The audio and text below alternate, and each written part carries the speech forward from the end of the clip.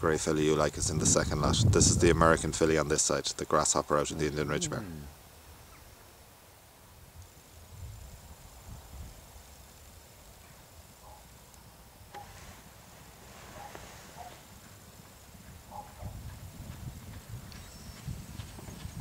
Oratorio out of the real thing, the far side. Yeah. And here's the second bunch.